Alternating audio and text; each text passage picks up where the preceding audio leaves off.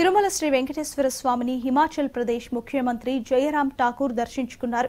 ఉదయం వీఐపీ విరామ సమయంలో కుటుంబ సభ్యులతో కలిసి స్వామివారిని దర్శించుకుని ఆశీస్సులు పొందారు. తిరుమల జేఈఓ శ్రీనివాసరాజు దగ్గరుండి ముఖ్యమంత్రికి దర్శన ఏర్పాట్లు చేసి స్వామివారి తీర్థ ప్రసాదాలను అందజేసి సత్కరించారు.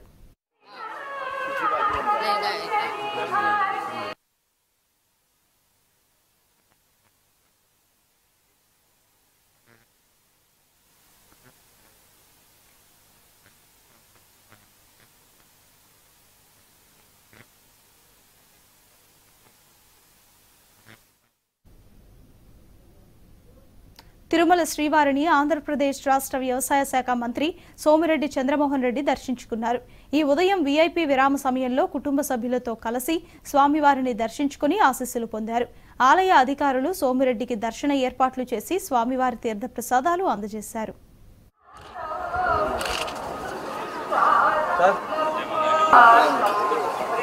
Hey, Dir, Dir, come here.